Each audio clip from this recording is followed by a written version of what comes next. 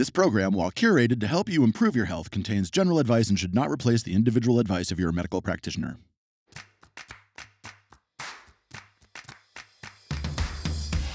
So we are not okay. we are not doing uh, well, and we're not serving our women well. We have a hormonal highway in our bodies. 30% of a modern person's calories come after 8 p.m. You shouldn't be asking your body to do metabolism in the middle of the night. We want women to lead. We want women to be innovative. We want women to take charge. We want women to be at the levels of decision making um, in this world, in every field. In life, it's normal to have ups and downs. But what do we do when we get stuck? I've always been fascinated by the healing journey. Why do some people get better while others fail to make the shift? Welcome to the Season 2 Expert Series, where you'll meet 24 of the world's leaders in health discussing their passions and what it takes to make a shift. We tend to be our, our harshest critics. We are more than the muscle and bones in our body. Whoa, that's so opposite of what I was taught growing up. I would like a call to arms for women to know that their intuition isn't lying to them. I'm Katherine Maslen, and this is The Shift. If you know some Hi, of this knowledge, I'm Katherine Maslen, you naturopath, can author, actually and host of The Shift. exercise better. You can fast In the better, expert series, we share the insight stories and everything better. expertise of each of our amazing experts. We're talking doctors, authors, naturopaths, researchers, and thought leaders. You may have heard them on season two of The Shift, where we took snippets of these interviews to put them together in the series for you. If you haven't listened to season two yet, I'd highly recommend checking out episode one, which will give you an overview of what constitutes women's hormonal health and a sneak peek into the series. We'll provide a link in the show notes. Dr. Amy Shah is a double board certified medical doctor and wellness expert specialising in allergy and immunology, hormones, and gut health. She's been named in the Phoenix Magazine Top Doc list six years in a row now and featured on national TV and magazines such as Elle, People, Shape, and Allure. She released her first book called I'm So Effing Tired, and it quickly became a bestseller. Her second book, I'm So Effing Hungry, is due to be released soon. Dr. Shah is a wealth of information when it comes to integrative wellness and helping women to thrive. You'll love this conversation, and if you're a busy woman, this is a must listen. Let's get stuck right in. Dr. Amy Shah, thank you so much for joining me on the shift. So, before we get started, I would love if you could just tell me a little bit about who you are, what you do, and I guess the story of what led you to be working in the field that you are today. First of all, thank you so much for having me and including me in this amazing series, and uh, especially around women's health. I came into this because of my own uh, journey, my own, own personal journey from a dark place where I could not figure out what was wrong with me. And I had to really lean on my scientific knowledge, my nutrition knowledge, um, and my medical knowledge to put it all together. And I realized, wow, there are so many women like me, women and men, but really a lot of women especially, that I saw suffering in a similar way. And so I knew that there was things that I could share that through my lens that could be helpful for them. And that's basically how my journey started is just writing and being creative and trying to help people. And through that, I found a lot of personal satisfaction. And I found that there were people who didn't know this information. And basically over the last, you know, six or seven years, I really culminated a wellness practice that engulfs kind of my views on how to be happy and healthy and have good gut health and hormone health, immune health, etc. And so my book, uh, it's called "I'm So Effing Tired," is a collection of these ideas that seem to have worked over the years. So, when did you decide that you wanted to study medicine? You know, I fell into medicine because I loved nutrition. So, what happened is I remember being with one of my really good friends, and he suggested to me that I apply to the Cornell School of Nutrition in New York uh, because he had known my lifelong interest and passion for nutrition and health. And he said, you know, knowing what you love, that's such a great program and it's not too far. And I lived in the state of New York and there was a special program for talented students in the state of New York that if you apply to certain specialties, you could get a discounted rate. And you know, in the US, education, college, especially at these private schools, are extremely expensive. And me being a daughter of an immigrant, I really didn't feel comfortable putting my parents through a private school education. And so this to me was the perfect opportunity. So when I started, I applied and it was extremely competitive and I was so shocked that I got in. And when I was doing my nutrition work in college, I realized, wow, I want to go deeper into nutrition and how it can help health. And when I looked at the options, there was no real option to go deeper in the way that I wanted. And so I thought, okay, the next step logical next step for me to see how food can help the body was medical school. And my biggest fear was would I be able to, one, hack it in medical school because I wasn't the traditional pre med applicant. And second, I thought, wow, what a great way to blend nutrition knowledge and knowledge of the body. And so I went for it. And lo and behold, uh, I ended up in medical school. And I thought, great, this is what I always wanted. Uh, when I graduated medical school in the US, you have to go through multiple years of training called residency.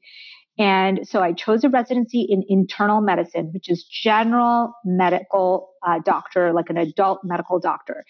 And when I did my three years, I was um, able to go to Harvard hospitals for that part of my training.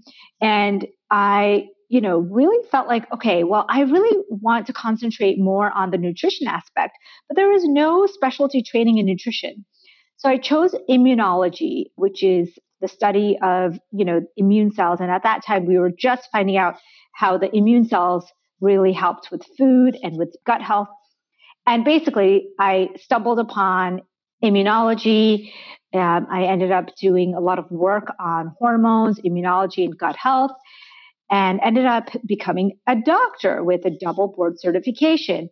However, in the way that medicine is set up today, there's very little nutrition. There's very little room for nutrition. And I landed in an amazing practice with awesome partners, but they wanted me to practice my traditional medicine. You know, they were sending me patients to work in the traditional way, um, in the traditional model. And so, because of all of that, basically, long story short, I got into my own situation of burnout and fatigue.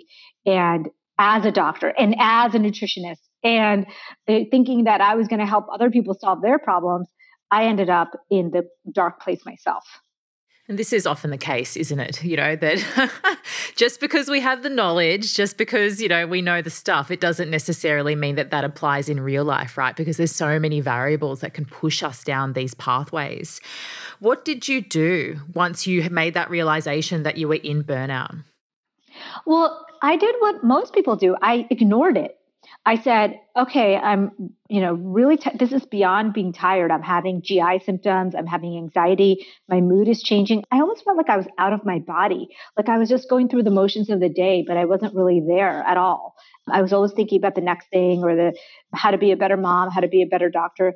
And so I did what most people do. I, I just went on with my life. And it wasn't until I was forced to stop and reconsider my life that I actually made changes. So basically, what happened is I had a huge life threatening car accident because of my split mind, my out of body kind of subconscious life. So most of us, when we're driving and we are in our subconscious, mind, the car drives itself basically because we're in our heads, we're somewhere thinking about the next thing or stressed about the next thing. That's exactly what happened at the time of my car accident. I was rushing out of work because I couldn't tell my partners that I had to leave early to pick up my children. I just felt like, oh, well, I wouldn't be a good doctor if I told them the truth, you know?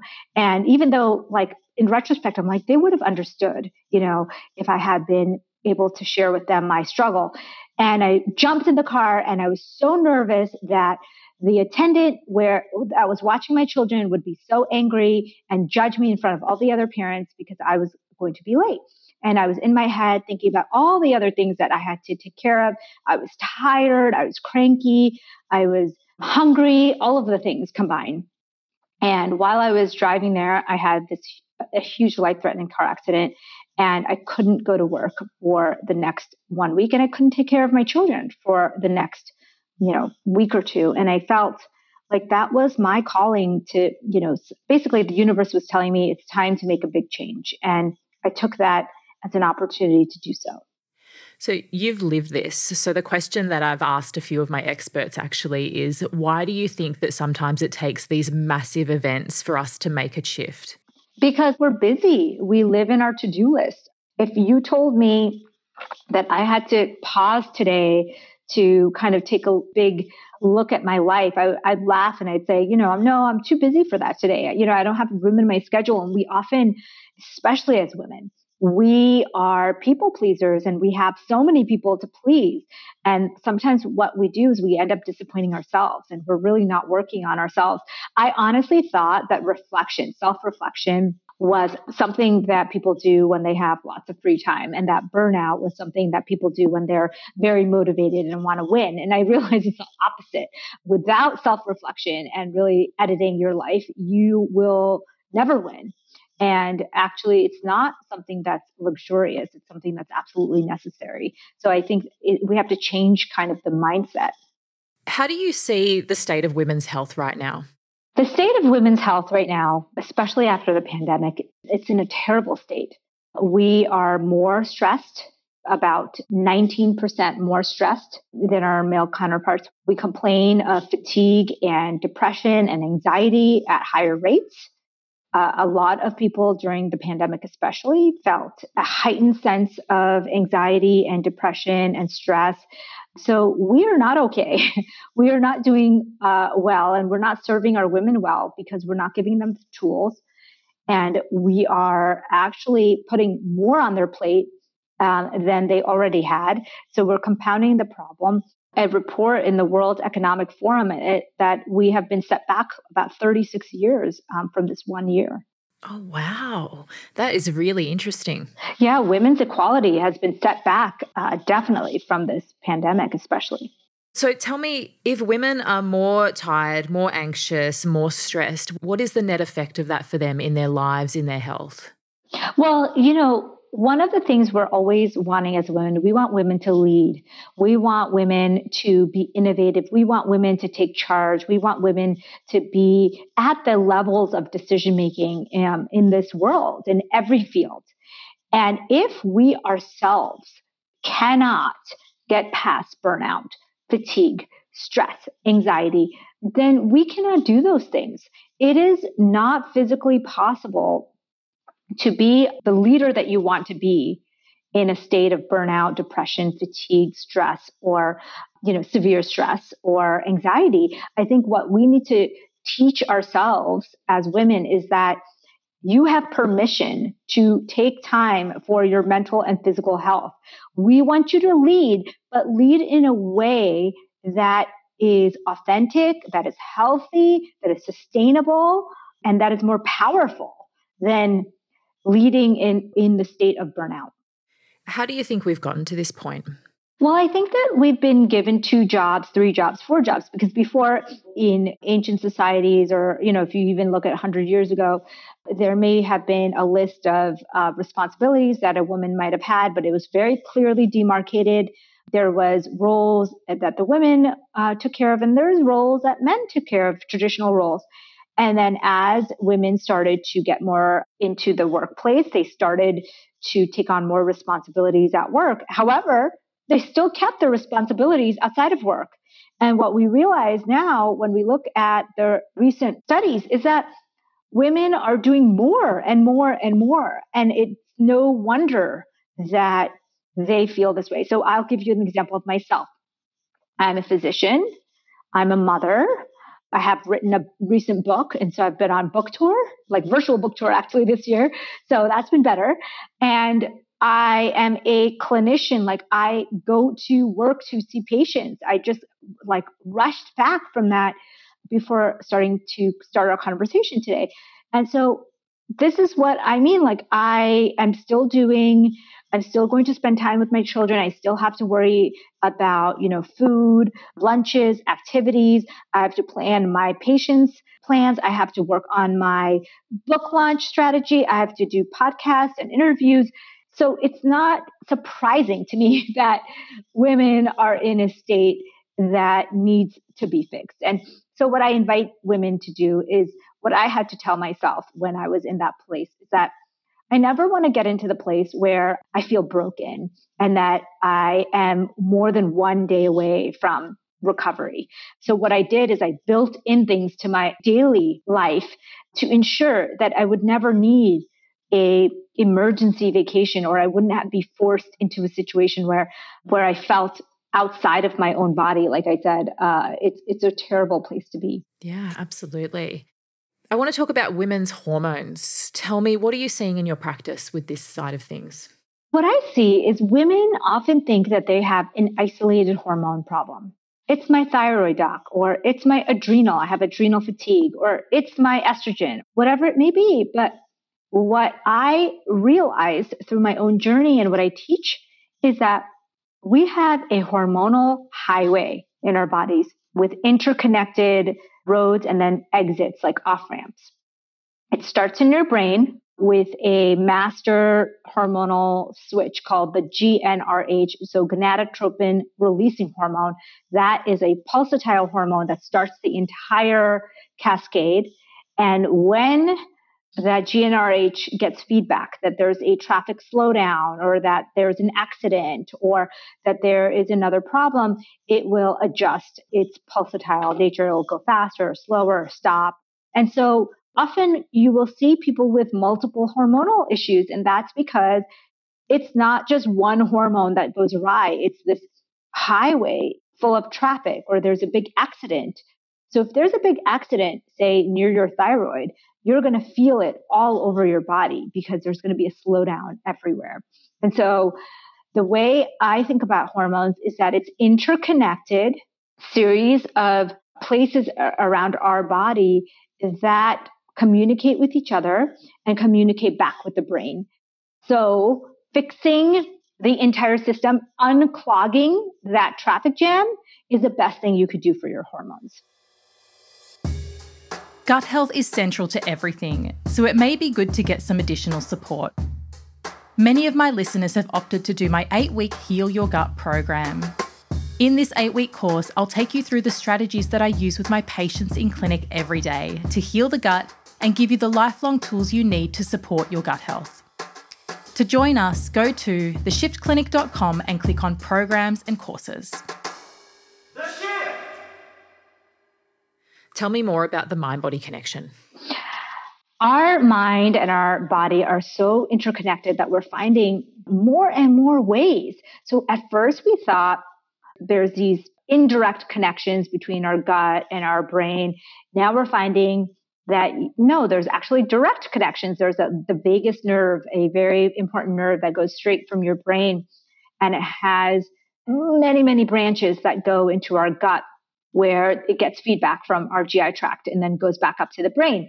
Now we know that there's at least four more pathways that the brain communicates with the gut and the gut communicates with the brain and the gut is kind of the center of the hormonal and immune system so we're getting constant communication there and what we realize now is that not only does the food we eat send signals to our brain through these four or five different pathways we found but that your thoughts can send signals to your body.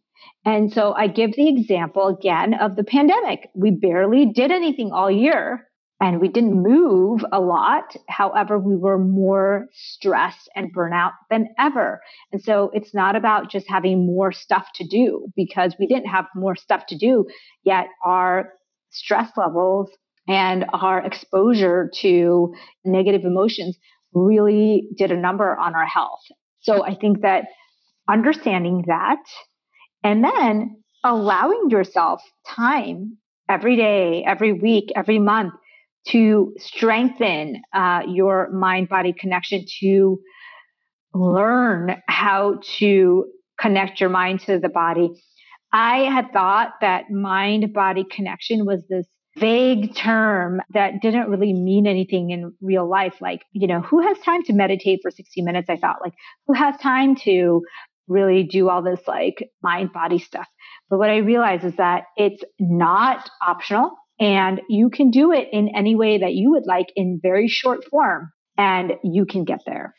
So it's really interesting that concept of like, I don't have time to do all these things to look yeah. after myself. But this is the really core problem, isn't it? You know, that it's making that time and really understanding it.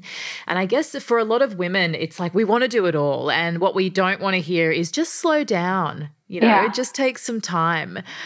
How do we have it all? You know, how do yeah. we have the career and the family and juggle it all, but still maintain our mental health, our emotional health, our physical health?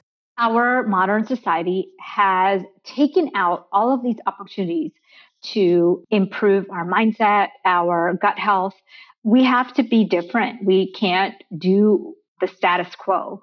So, give an example. It's like in my culture, where my parents came from, India, there were things built into the ancient cultures that did this. So, so for example, mind body connection. So connecting your body to your mind can really be done by a series of activities like chanting, like humming, like singing, like praying. These are activating the vagus nerve, the connection between the brain and the body.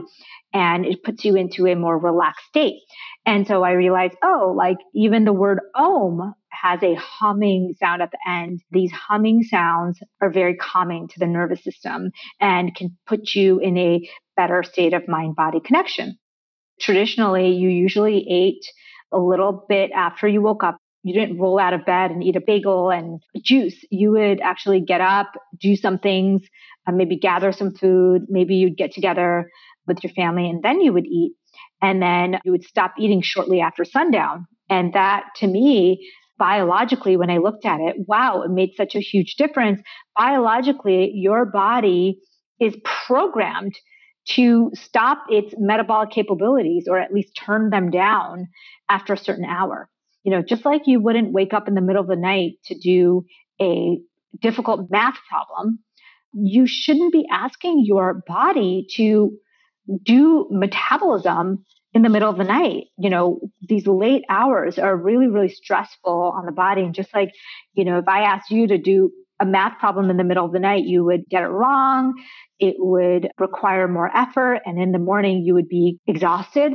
That's how our metabolism feels when we eat late at night and you know don't let it get some rest so i thought that a lot of these things were programmed into our culture and most cultures around the world have this kind of programming into it. However, we've slowly taken all of that programming out. And so you have to reprogram that back in. So you have to be that weirdo that goes and gets daylight, natural light in the middle of the day or in the morning and then again in the evening. And you will be that weirdo that might not eat that late dinner with the entire group because you've eaten an early dinner and you want to not stress your body with late food or drink and you might be, you know, strange for giving yourself some time during the day, very quick, you know, one to three minute bouts of activities that improve your mind body connection. I want to dig more into this stuff, but first, I just want to explore this concept of cultural acceptance, I guess, and also outcasting when we're trying to make a change. You know, we're doing something different to our friends and our family. How do people deal with this? Somebody equated it to crabs in a bucket.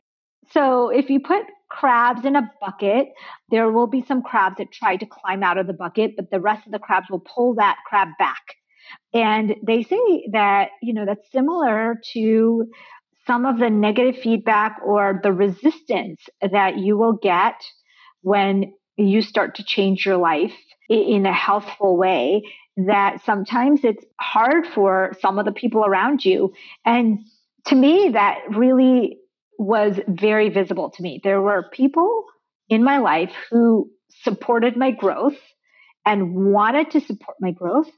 And there were people in my life that didn't like it. They either didn't like that I was doing something new and different because it was threatening them in some way, or maybe it was, you know, they felt like why not them? You know, whatever it may be. But you can quickly see, and this goes in relationships too, right? They say that the best partner for you is one that supports you, but also lets you grow. Like they are there for you, but they also let you grow on your own. So you're still with them, but you're also growing. And then there's other partners that people find as as they start to grow, that other person wants to pull them back. Let's talk about your book because that's going to get into some more of the nitty gritty of this stuff around fasting and biorhythms and that kind of thing. I love the title. I'm so effing tired because I'm sure we've all thought or said that at some yeah. point. Tell me about the book. So, the book was really a culmination of all of my ideas and thoughts and put it into a nicely laid out fashion.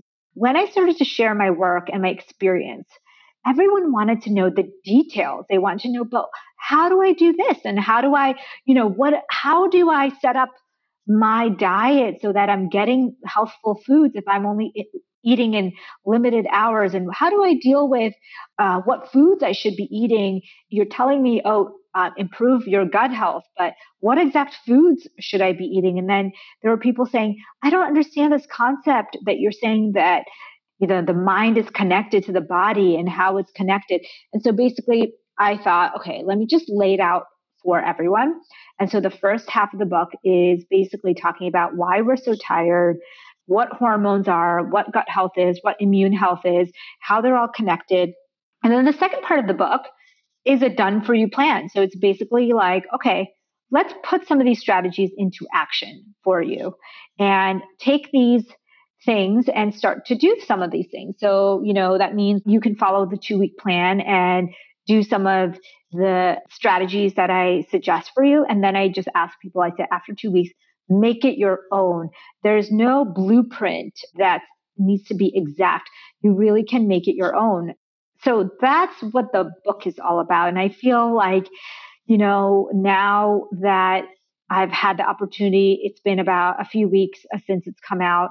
There's so many more things I want to be telling people and um, adding. And some of these conversations that we just had today are like extensions of that conversation. Like, how did we get here? And why is it that we stay here? And, and how come when we want to change, um, some people don't like that? Let's talk about fasting and really rhythms and, and how we can sort of harness this. And particularly with women, I know that a lot of the fasting is done on men, and there's a little bit of controversy about, well, what works well for women compared to men. Tell me what you've learned in your research and in your practice. This conversation around women and fasting is a really interesting one.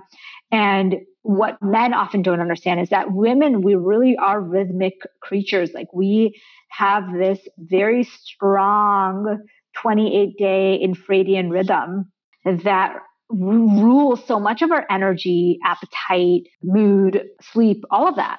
And we have a strong circadian rhythm as well. So there's a circadian rhythm, there's an infradian rhythm, and there's a third rhythm called the ultradian rhythm, which is like your breath and your heartbeat. Um, so these are all rhythms that we have to live with. And so uh, one of the things I talk about in the book is how to do things like intermittent fast and diet and exercise uh, with the knowledge of the infradian rhythm. This is so fascinating to me that the women's hormonal cycle is still something that's like a taboo subject. You know, you wouldn't mention it at work. You wouldn't say like, "Oh, I don't want to take that project this week because you know it's I'm just about to get my period in a couple days. It might be hard for me to work on it. It's just not, it's still a taboo subject. People still hide it from their family and friends. And what I want to empower women with is that if you know some of this knowledge, you can actually exercise better. You can fast better. You can sleep better. You can do everything better. Some of the, the fasting information that I give to women is around you know, syncing with your monthly cycle.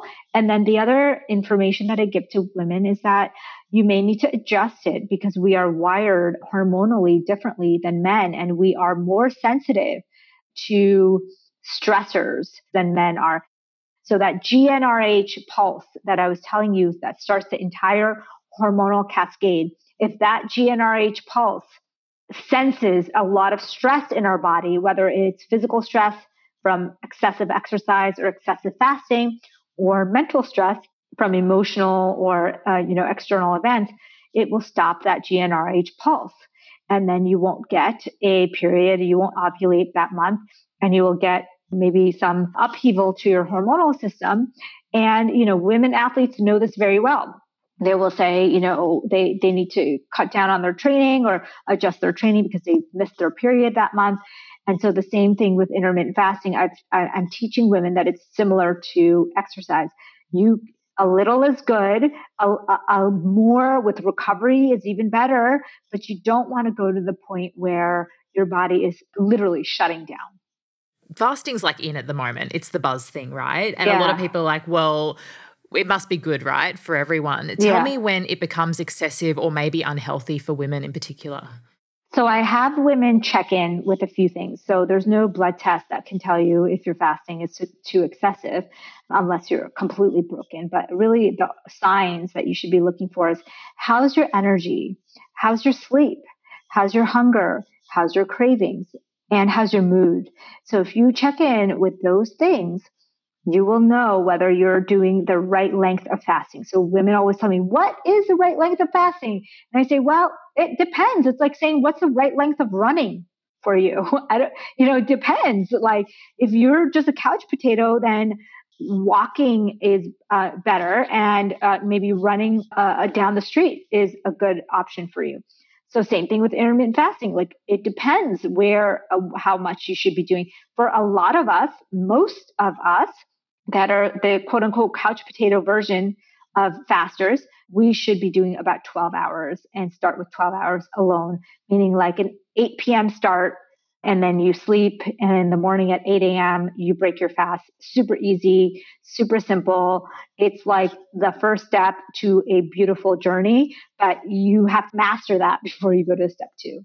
Now, what about fasting and stuff around the menstrual cycle? What are some of the key things that you think are really important to consider? Yeah, one key thing, if you got nothing else from this time with us, the last week before your period, if you are someone in childbearing age, is usually terrible for a lot of us. There's cramps, there's cravings, there's mood swings, there's bloating, you know, that whole thing that we called premenstrual syndrome.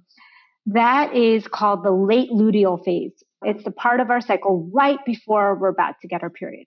And during that late luteal phase, you are very stress sensitive and you're not as resilient to stressful activities. So this is not, you don't want to start an exercise regimen or a fasting regimen during your late luteal phase you want to wait till at least the first two or three days, day two or three of your period, once you get your energy levels back to start that.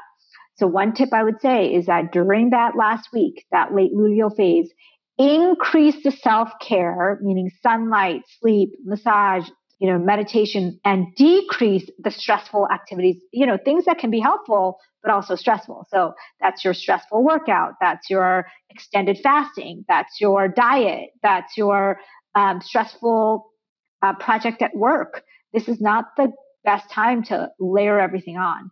And then when you get your period, and you start, like I said, when you start to get your energy levels back day two, day three, that's the time to really what we say train like an athlete, eat like an athlete, you know, experiment with fasting, try to try that new project that's quite difficult and stressful. Like these, your body is much more resilient to stress at that time uh, in the first two weeks of your cycle, which is the follicular phase.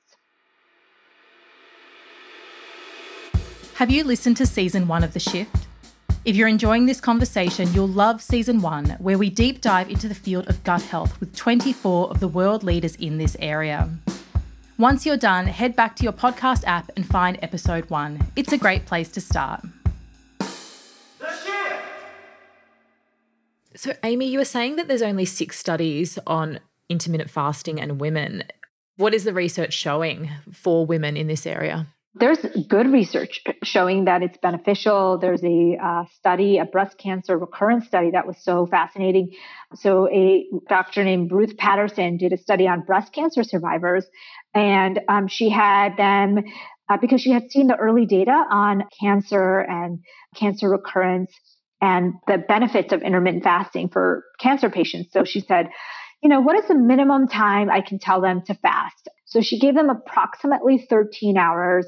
Some some of them did a little more than 13 hours, but she she basically did a very easy intervention. She said, you know, these women are breast cancer survivors. I don't want to give them really fa- uh, a difficult fasting regimen. She had them in two groups. One was the fasting group, one was the regular group, and she saw that over the length of the study, the fasting group had a 34% decrease in recurrence of breast cancer. That's crazy. If there was a medication that could do that, it would be a blockbuster um, medication. I mean, there's nothing in in the cancer world that decreases recurrence like that. So we are talking about very, very, very promising strategies here. Um, and this was a very modest fast. So that's why in my practice, I don't push for long fast. Like it's great if you master the short fasting and you want to try a very prolonged fast of three day fast, say, but it's like akin to running a marathon. Not everybody wants to do it, needs to do it, or benefits from it. Like you can do an extended fast, but that's not necessarily the end goal for everyone. With intermittent fasting, do you think the benefit is giving the gut and the digestive system a rest, reduce calories, which just sort of happens naturally when we're eating, have a shorter eating window. What do you think the nitty gritty of the benefit comes from? 30% of a modern person's calories come after 8 p.m. Isn't that crazy? So, like, just stopping food at a certain hour is so beneficial, right? For even just the excess of eating because we're not making any good decisions post 8 p.m. when we're going for the food. The second benefit is the circadian rhythm. So every one of us has an internal clock and our internal clock is in every one of our cells and our cells have a program in them where in the daytime they do metabolic functions and in the nighttime they kind of shut off the metabolic function and they're doing more repair and renewal you can't flip that no matter what uh, so when you are trying to eat late at night, you're basically telling that cell that instead of doing its repair and renewal processes, you need it to go back to doing metabolism processes, whereas that was turned down super low. So eating with circadian rhythms on top of intermittent fasting, I think are two like really powerful mechanisms. And then there's this third mechanism that's really gotten a lot of press recently. New England Journal of Medicine published a paper on intermittent fasting and how there's this metabolic switch that happens when you intermittent fast. So what that means is we preferentially use glucose for fuel. And we will use glucose while we're eating and also while we're fasting because we have glucose left in our bloodstream. And then once the glucose is uh, used up in the bloodstream, we actually have stored glucose in our liver and it's uh, uh, in the form of glycogen. So once you use up the glycogen in your liver, then your body has to make a switch. And this metabolic switch happens and then you start using fatty acids for fuel. And then when you start eating again after your fast is over, you go back into sugar glucose as your preferential food. Now, this switch back and forth from using glucose as fuel to using fatty acids for fuel and then back again to using glucose. That seems to be the magic behind intermittent fasting. That act starts a pathway that turns on all these anti-aging pathways that turns on all these like downstream benefits like increasing BDNF which is brain derived neurotrophic factor that seems to improve you know markers that are well beyond what you would expect with just calorie restriction and so again, I equate it to exercise because we're so familiar with exercise science that it's easy to think about it this, this way. So when you exercise your muscle, you are growing that muscle and stressing that muscle But there's all these other benefits that happen from exercise. There's these brain benefits, these brain chemicals, these, these downstream changes in our genetics. And that's exactly like fasting. So there is so much more than, you know, what it seems like on the surface. Is there anything else that you would want to mention around fasting for women if someone's thinking about getting into it? Is there any other advice that you think is really important? I think women, just like anything, take it slow. We give ourselves too much pressure to do it all, but do it all quickly, perform perfectly. And with fasting, I have been doing it for years and I still find that I need to adjust for my cycle. I need to adjust for a very stressful period in my life. I need to adjust for, you know, all kinds of reasons. And I can't always go as long as I want. So just be kind to yourself and listen really closely to what your body is telling you. So, this program is called The Shift. And what I wanted to ask you was what has been the biggest shift that you've had in your life? And what did you learn as a result of it? The biggest shift I've had in my life is that I allow myself to take care of my body and my mind. I believe that that you have to make that shift. You cannot think of it as a luxury or that it's self selfish time. That's what culture is telling us, or that's what our upbringing is telling us. What we really need to realize is that we are allowed to take care of our minds and our bodies. So that's been the big shift. One last question. If you could give just one piece of advice to someone that wanted to make a shift in their health or their life, what would it be? Allow yourself time and energy and grace. Just like I did for my life, like I had to incorporate these things into my life on a daily basis. And I had to allow myself to pause and examine my life from afar. So I think that if someone really wants to make a shift, just pause and examine from afar and see what's really going on. And sometimes just that little pause is enough to make it clear what the next steps should be. Dr. Amy, thank you so much for joining me on the shift. Oh my goodness, there was so much amazing information in this episode. Let's review some of the key points and what action you can take as a result of them. I like the analogy of seeing your hormonal system like a highway with interconnected roads. If there's a traffic accident or blockage, it impacts things down the line because everything is connected. How can you unclog your highway and road network so the traffic flows freely? There were only six studies on intermittent fasting in women at the time of recording this podcast. While there have been some great benefits shown, we need to be careful of interpreting data done on men on cycling women. Listening to your body here is key.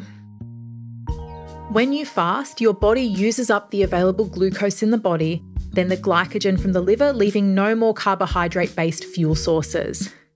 What has to happen then is your body will turn to fat as a fuel source, then switch back to glucose once you begin eating again. This is why intermittent fasting is beneficial. This metabolic switching is thought to be the reason why there are so many health benefits. Learning is great, but action is better. Here are a few things that you could do as a result of this conversation in order to help you shift your health and your life. To begin the process of intermittent fasting, I'd suggest beginning with a 12 hour window where you don't eat or drink anything with calories. In the fasting window, water and tea without milk is fine. On this note, I see a lot of people who are attempting intermittent fasting yet having a coffee in the morning. If that coffee has any milk, creamer, or sugar in it, your body will break the fast and this takes away the benefit of that larger fasting window. If you have to have coffee, it needs to be black. Otherwise, I'd suggest that having breakfast would be a better option for you. Herbal tea is a great alternative here. Think about your stress, cycles, and other things that could change the way your body reacts to intermittent fasting. For myself personally, I'll fast until about 11am or midday when I'm on a ketogenic diet, something that I do fairly regularly. If I have a big speaking gig on over lunch or anything where I feel like I need to bring my full brain power, I will often reduce my fasting window just to be sure I have the reserves that I need. The longer you intermittent fast, the more your body will get used to it. But there's a sweet spot that you need to figure out in order to make this work for you. If you're exhausted and grumpy all the time, perhaps your fasting window is too long. A huge thank you to Dr. Amy Shah for sharing her passion and knowledge with us on The Shift. You can learn more about Dr. Shah at Amy Wellness, that's A M Y M D wellness.com, or follow her on Instagram at fastingmd. If you like this episode, please let us know by sharing on social media and tagging myself and Dr. Amy Shah, Fasting MD, or the Shift Clinic so that we can hear what you have to say. You can also now leave comments on Spotify or reviews on Apple Podcasts.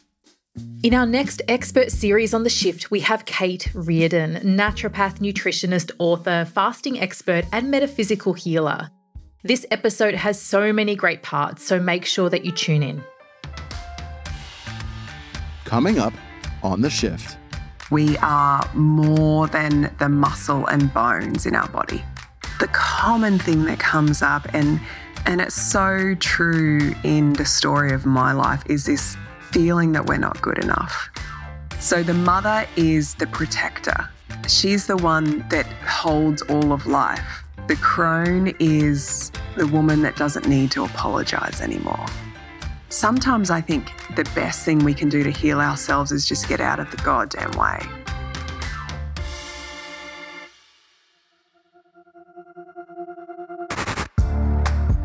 This series is a production of the Shift Clinic.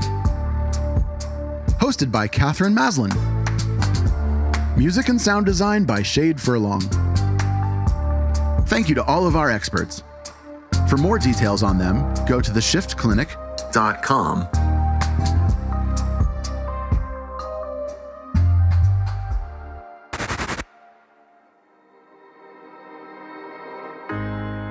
We can be. We must be.